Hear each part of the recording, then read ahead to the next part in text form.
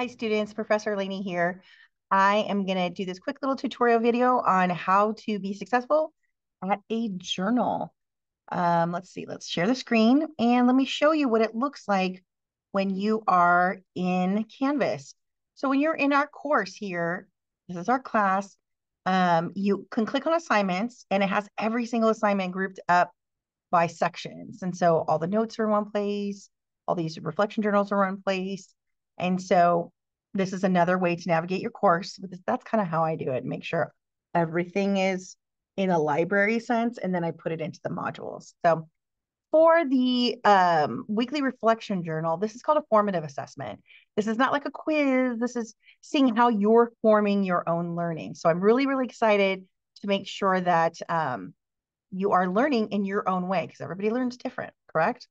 Now, remember, this is in five small parts, and I put here that it's five sentences each. Now, you can do six, you can do a couple more, but if you go under five, that means you're not even really giving it your full effort. So, five points for each section, five times five is 25. This is a lot. This is 25 points a week.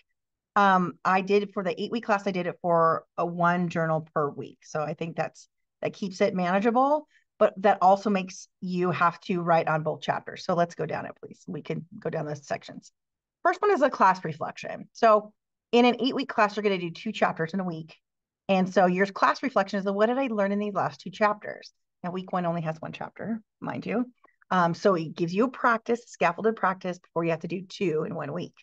So in this class reflection, you could say chapter four, chapter five, right?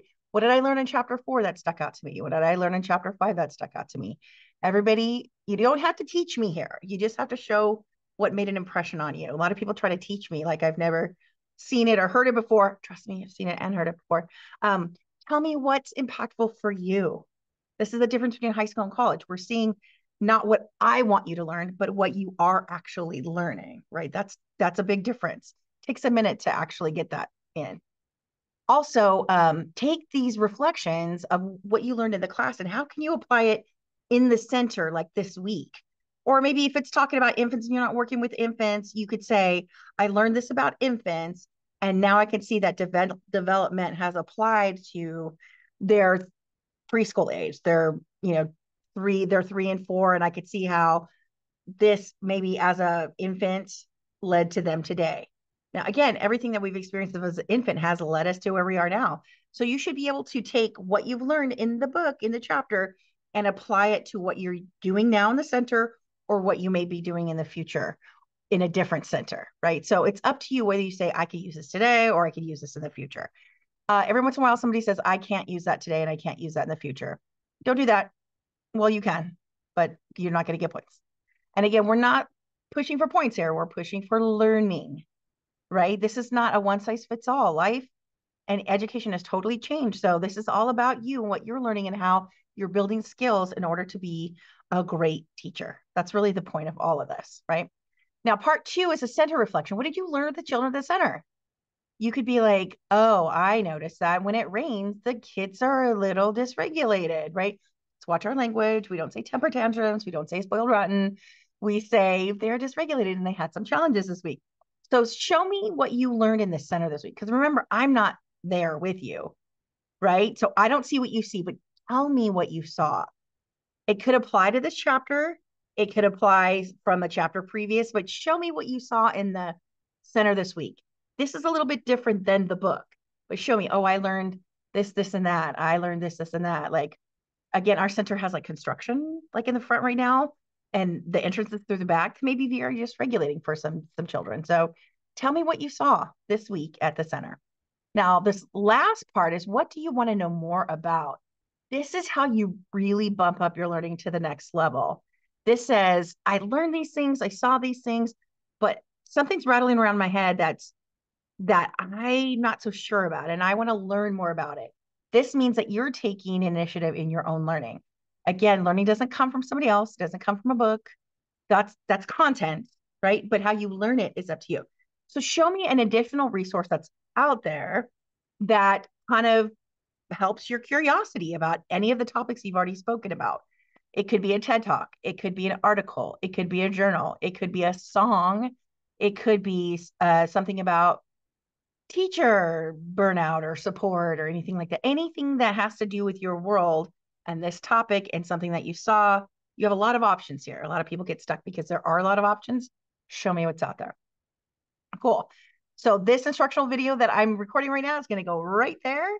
And let me walk you through the rest. Citations, always cite your sources. So if you're talking about something that you learned in our book and you cite the book, which you don't really have to because this is like your opinion. Tell me what you learned about. But if you want to cite a fact from our book, I give you a free citation generator. Also in LibreText, it actually has a citation generator up on the left, the right hand side. It'll say cite the page or cite the book please get in the habit of using citations every single time that you turn in anything. It's getting you ready for professional or and or transfer. Okay. Um, grading extra grading extra points. I always like to give a little bit more. Show me what you got. You know, impress me, but don't teach me. There's a fine line, right? So I give a couple extra points up to about 20% over. So if this is a 25 point assignment, I can give an extra five points. So you went plus 20% over, which is fantastic. Sometimes I give you just a couple, and sometimes I'll give you the, the extra five. Um, but also at the end of the semester, I drop the lowest. So if for some reason you missed one or you just phoned it in and bottomed out and you didn't get all the points, you're going to be fine. Everybody gets like one for free. It's uh, 25 points. Um, then also I put a rubric on the bottom. I'll show you uh, that as well. Um, and when you're ready to submit, hit the submit button and go for it. You can type this one in um, or you can make a separate document and cut and paste it, or you can upload a document. This is not a discussion board. This is just a reflection between you and me here. Again, I've said this multiple times, read all the instructions first, write a little bit more so we know you're serious because you got lots to say. I mean, if you guys can be chatting on um, Instagram like half the day, you got plenty to say in an assignment. So show me what you got. Uh, make sure that it's legible, spell check, properly cited, and you used Grammarly. That's just polishing your stuff up into adulthood. Okay. Again, my due dates here are target dates that um, I can be flexible with some of these things, not discussion boards, because those need to be happening in the week that we assign them. But in journals, eh, if you need a couple extra days, you reach out to me, tell me your plan, and it's always a yes. I love saying yes. I love it. Um, and also, I said here that this is a private. You know, if I if you share something in there that's like something about you know, licensing or health and safety or something, I'm okay with that. We will help get you support. We'll help get the center support. So if you could say, I saw something that happened that wasn't really cool, I'm really confused, like I'm cool with that. But this is just between me and you. And then I'll probably loop in Sarah to make sure that you guys are getting extra support. And then when you're ready to submit, submit your work and then move forward next. So here is the rubric that's not exactly done, but I will make sure that it is done. Again, I'm looking for all of these things here make sure that you're doing one section here, five separate sections, at least five sentences each, right? It's really easy for me to grade 5, 10, 15, 20, 25. But if one section has two sentences, that's two points. It's that easy. So I'm going to make sure I formalize that in the rubric as well. All right. I hope this helps. Um, and let me know if you have any questions at any time. I am here for it. And let's have a great semester.